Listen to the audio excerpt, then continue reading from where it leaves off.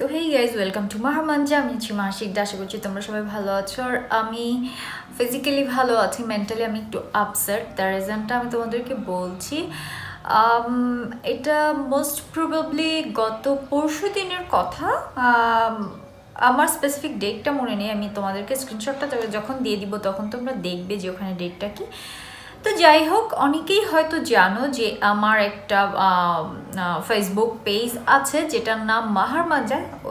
মাহারমাঞ্জা ওইটাই basically first page আমার। তো ওখান থেকে আমার ইউটিউবের নাম মাহারমাঞ্জা। সো যাই হোক, ওইটা হচ্ছে আমার ড্রেসের পেজ যেখানে আমি ড্রেস নিজেই ডিজাইন করে মেক করে সেল করে থাকি। তো যারা অনলাইন শপিং করো, তারা জানো যে আর হচ্ছে আমার ম্যাক্সিমাম ম্যাক্সিমাম না আমার সব ড্রেসই আমি হচ্ছে সাইজ মতো কাস্টমাইজড করে দিই। আমি একটা স্যাম্পল রেডি করি, সেটা ওখানে পিকচার আপলোড করা হয়। কারণ যদি ভালো লাগে, সে ওটা আমাকে ছবি দিয়ে দেন সাইজ অনুযায়ী আমি কাস্টমাইজড করে দিই। তো যাই হোক, আর কাস্টমাইজড যারা করে দেয়, তারা একটা টোকেন অ্যামাউন্ট অ্যাডভান্সে নেয়। তো আমাদের পেজেও আমরা সেটাই করে থাকি। একটা টোকেন অ্যামাউন্ট আমরা অ্যাডভান্স অনুযায়ী নিয়ে থাকি। আর হচ্ছে যারা ঢাকার বাইরে থাকে, তারা তো ডেফিনেটলি একটা টোকেন মানি দিয়ে থাকে, সেটা কাস্টমাইজড হোক বা কাস্টমাইজড না হোক রাইট তো সেই দিন হলো আমার পেজে টেক্সট এসেছে, একটা ড্রেসের রিকোয়ারমেন্ট দিয়ে যে এই ড্রেসের প্রাইস কত। একটা কাপড় ড্রেস আর কি। সো আমি ওটার প্রাইসটা বললাম। বলার পরে হচ্ছে আমি ওনাকে বললাম যে এরকম টোকেন মানি দিয়ে আপনার অ্যাডভান্স করতে হবে। তো উনি আমাকে বলল যে ঠিক আছে নাম্বার দিন। আমি নাম্বার দিলাম। নাম্বার দেওয়ার পরে আমি ওনার কাছে চাইলাম হচ্ছে টোকেন অ্যামাউন্ট দুইশো টাকা। কারণ এর বেশি অনেকে দিতেও কি বলে ইনসিকিউর ইনসিকিউর ফিল করে বা সব সময় সবার কাছে হয়তো ক্যাশ থাকে না। নানান কিছু চিন্তা করে আমি একটা স্ট্যান্ডার্ড অ্যামাউন্ট আর কি যে সবাই দিতে পারবে, এরকম একটা অ্যামাউন্ট ফিক্সড করেছে যে দুইশো টাকা অ্যাডভান্স দিতে হবে। তো যাই হোক, উনি নাম্বার দেওয়ার সাথে সাথে আমাকে বলল যে আমি এক হাজার বিশ টাকা আপনাকে বিকাশ করেছি। তো এইখানে আমার বোকামি যেটা হয়েছে, সেটা হচ্ছে আমার পেজের যে নাম্বারটা সেটা হচ্ছে বন্ধ আছে ফর সাম রিজন আমি করলাম, আমি আর একজনের নাম্বার নিয়ে আমার বাসায় ছিলেন তিনি, আমার রিলেটিভের নাম্বারটা নিয়ে হচ্ছে আমি ওনাকে দেই। তো উনি করল কি টেক্সট এসেছে, ঠিক আছে? তো বিকাশ থেকে পয়েন্ট হ্যাঁ? বিকাশ থেকে যখনই কোনো টেক্সট আসবে, সেটা বিকাশ লেখা থাকবে। ধরো, আমি মাহা, আমি যদি তোমাকে টেক্সট করি, তুমি যদি আমার নাম মাহা হিসেবে সেভ করে রাখো, তাহলে তো তোমার কাছে টেক্সটটা আসবে যে মাহা তোমাকে টেক্সট করেছে, বা তুমি যার নাম সেভ করে রাখবে সেই সেভড করা নাম্বার থেকে কিন্তু টেক্সটটা আসে। তো বিকাশ থেকে বা নগদ থেকে যখনই কিনা তুমি মানি ট্রান্সফার করবে বা তোমার কাছে কোনো মানি আসবে, তখন কিন্তু সেটা বিকাশ বা নগদ লেখাই থাকে ওকে তো আমার যে রিলেটিভের নাম্বারটা আমি দিয়েছি, সেখানে হয়েছে একটা নাম্বার থেকে টেক্সট এসেছে যেটা কিনা যে টেক্সটের প্যাটার্নটা এমন ছিল যে you have received one thousand twenty টাকা বা এরকম আর কি। তো বিকাশ কিন্তু লেখা ছিল না, সেটা আমি জানি না। তো আমি জিজ্ঞেস করলাম যে কি বলে, টাকা আসছে? আমার রিলেটিভ বলল যে হ্যাঁ টাকা আসছে। অ্যান্ড দেন আমি বললাম ঠিক আছে। তারপরে আমি আবার ওনাকে জিজ্ঞেস করলাম যে আপনি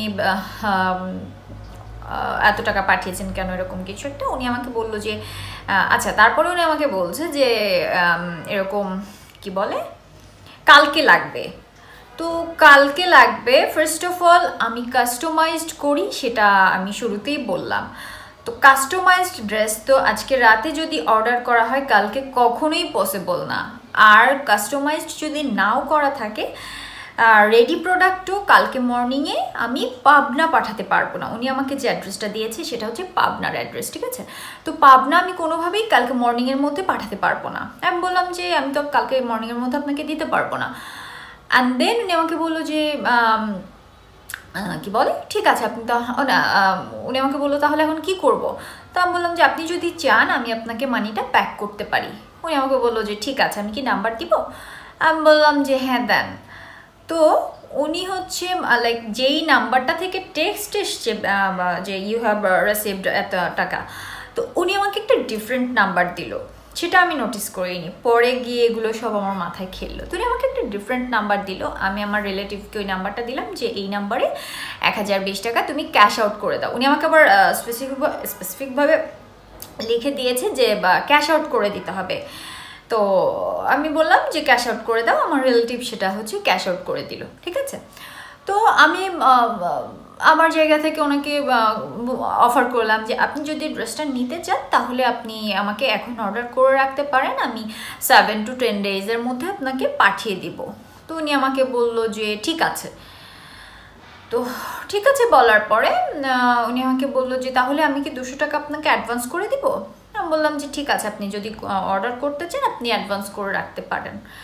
অ্যান্ড দেন উনি আমাকে তার কিছুক্ষণ পরে আবার হচ্ছে টেক্সট করেছে যে, আপু, এরকম আমি তো, আমি তোমাদেরকে ফুল কনভারসেশনের যে স্ক্রিনশট সেগুলো দিয়ে দিব। আমি তোমাদেরকে তারপর লাইন আপটা বলছি ওকে তো উনি আমাকে বলছে যে, আপু, আমি তো এরকম আমার ভাইয়াকে বললাম বিকাশ করে দিতে, তো আমি ভাইয়াকে হচ্ছে টেক্সট করেছি, দুইশো লিখতে গিয়ে আমি দুই হাজার লিখে ফেলেছি। তো আমি বললাম যে যদি কিনা দুই হাজার চলেও আসে, কোনো প্রবলেম নেই, আপনি আমাদের পেজ ঘুরে দেখতে পারেন, আপনার টাকা আর যাই হোক অ্যাটলিস্ট মার যাবে না। তো যদি দুই হাজার আসেও আপনি আপনার যে টোটাল অ্যামাউন্ট সেখান থেকে আপনি দুই হাজার বাদ দিয়ে বাকিটা পে করবেন। সমস্যা নেই। বলছে যে, না আপু, আমি দুশো টাকা দিয়ে অর্ডারটা কনফার্ম করতে চাই। তো আমি বললাম যে, ঠিক আছে, তাহলে আমি কি আপনাকে বাকি টাকাটা আঠারোশো টাকা কি আমি আপনাকে ব্যাক করব? উনি আমাকে বলছে যে হ্যাঁ ব্যাক করেন। তো উনি আমাকে আবার বলল যে, নাম্বার দিব? তখন না আমার মানে আমার মাথার মধ্যে একটা নক করল যে নাম্বার কেন দিব? নাম্বার উনি আমাকে আগে যে নাম্বার দিল, সেখানে আমি টাকা পাঠালাম। তাহলে উনি আমাকে আবার কেন নাম্বার দিবে? দেন আমি ওনাকে বললাম যে, ঠিক আছে নাম্বার দেন। আমি জাস্ট কি নাম্বার দেয় এটা দেখার জন্য। তো উনি আমাকে করল কি, উনি আমাকে আর একটা নতুন নাম্বার দিল। তখন পর্যন্ত আমি কিন্তু বুঝে উঠিনি ওকে তো আমি হচ্ছে আমার হাজব্যান্ডকে বলছি আছে আচ্ছা, মেয়েটা বোধ হয় মানে দুষ্টামি করে নানান বয়ফ্রেন্ডের কাছ থেকে আমাকে বিকাশ করাচ্ছেন দেন ও বোধ হয় ওই টাকাটা আবার নিজের অ্যাকাউন্টে হচ্ছে ব্যাক করে নিচ্ছে এরকম কিছু। অ্যান্ড দেন আমরা হাস হাসতেছি। অ্যান্ড দেন হচ্ছে আমার রিলেটিভ বলতেছে যে যেই টাকা পাঠালো ওই টাকা তো বিকাশে অ্যাড হয়নি। অ্যান্ড দেন অনেক সময় কিন্তু হয় যে টাকা আসে ঠিকই বাট বিকাশে অ্যাড হয় না। তো আমি বললাম যে টেক্সট এসছে তো। বলে হ্যাঁ টেক্সট এসছে। এই যে দেখো, আমাকে তখন টেক্সট দেখাল যে এত একটা নাম্বার থেকে টেক্সট এসছে। তারপর নাম্বার থেকে টেক্সট এসছে এটা দেখে আমি হচ্ছে আমার বিকাশের যে টেক্সটগুলো সেগুলোতে ঢুকলাম। ঢুকে দেখি যে বিকাশ থেকে যদি টাকা আসে তাহলে বিকাশ লেখাটা থাকে। আর ওটাতে হচ্ছে নাম্বার থেকে এসছে। দেন আমাদের মাথায় খুললো যে এটা হচ্ছে স্ক্যাম। তো স্ক্যাম নিয়ে নানান কিছু আমরা দেখছি, আমাদের সিরিজ দেখছি, আমাদের আশেপাশে এমন হয়েছে, কলকাতায় এমন হয়েছে। কলকাতায় একজনের অ্যাকাউন্ট থেকে ট্রাস্ট মি বারো লাখ টাকা এভাবে নিয়ে নিয়েছে। আমি ঘুসপাম হচ্ছে আমি যখন বলছি। ধরো তোমাকে কেউ একজন কল দিয়ে বলল যে আপনার ইলেকট্রিক বিল দেওয়া লাগবে এরকম অনেক কিছু। তো একটা কোড যাবে, আপনার নাম্বারে একটা কোড পাঠাচ্ছি বা একটা লিঙ্ক পাঠাচ্ছি, আপনি ওটাতে যদি ক্লিক করেন, তাহলে হচ্ছে আপনার বিল পে করা হয়ে যাবে। এরকম প্রসেস করে কলকাতার যে অ্যাক্টর ছিলেন উনি, ঠিক আছে? সো ওই অ্যাক্টর অ্যাকাউন্ট থেকে হচ্ছে একবারে বারো লাখ রুপি গন তো বারো লাখ রুপি মানে কি বলব? কোনো স্মল অ্যামাউন্ট না রাইট অনেকের সারা জীবনের ইনকাম বারো লাখ টাকা। সো যাই হোক, আমার মানে তারপরে আমার ব্রেনে খুললো আচ্ছা এটা স্ক্যাম তো আমার এক হাজার বিশ গন অ্যান্ড দেন তারপর আমি হচ্ছে যেই বাকি আঠারোশো চাচ্ছে সেই আঠারোশো কিন্তু আমি আর দেইনি। কেন দিব? আমি তো বুঝে গেছি পরে। পরে আমি যখন ওকে আবার নক করলাম যে কি বলে, আপনি যে আমাকে টাকা পাঠিয়েছেন সেটা একটা স্ক্রিনশট দেন দেখি।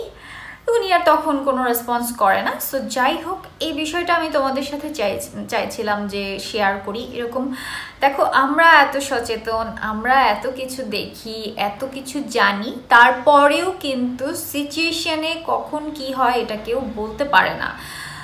তো মানে এটা খুবই কি বলব ডিসঅ্যাপয়েন্টিং একটা ব্যাপার যে তুমি ভাই কেন মানে যেই কষ্টটা করে ও এই কোডিংগুলো শিখেছে, ও এই প্রসেসটা শিখেছে, এই কষ্টটা তুই যদি অন্য জায়গায় করিস, তাহলে তো মানে আরও বেটার কিছু হতে পারে। এভাবে মানুষের কাছ থেকে মানে চালাকি বাটপাড়ি করে তার কষ্টের টাকা তুমি নিয়ে নিচ্ছ, এটা কেমন ইথিক্স আমি জানি এগুলো মানে ওদের যদি এথিক্স থাকতো, তাহলে ওরা ডেফিনেটলি এই টাইপের কাজ করতো না। বাট আমার মনে হয়েছে যে আমি যেহেতু একটা সোশ্যাল মিডিয়াতে কাজ করছি বা লাইফস্টাইল ব্লগার আমি, তো আমার মনে হয়েছে যে আমার দায়িত্ব এটা তোমাদের সাথে শেয়ার করে তোমাদেরকে অ্যাটলিস্ট কনসিয়াস করা যে মানে এরকমও হতে পারে। অনেকেই আছো যারা আমার মতো বিজনেস করো, যারা কিনা অনলাইনের বিজনেসই করো। সো তোমরা একটু এই বিষয়টাতে সচেতন হও যে মানে অ্যাডভান্সের বিষয়টা তোমাদেরকে যেটা বললাম, সেটা একটু সচেতন হবে যে, বিকাশ থেকে যদি টেক্সট আসে, তাহলে কিন্তু সেটা বিকাশ থেকেই আসবে, অন্য কোনো নাম্বার থেকে না। তো, আমার অল্পের উপর দিয়ে গেছে, সেটা ঠিক আছে। এইটা ছিল বিষয় তোমাদের সাথে শেয়ার করার ছিল।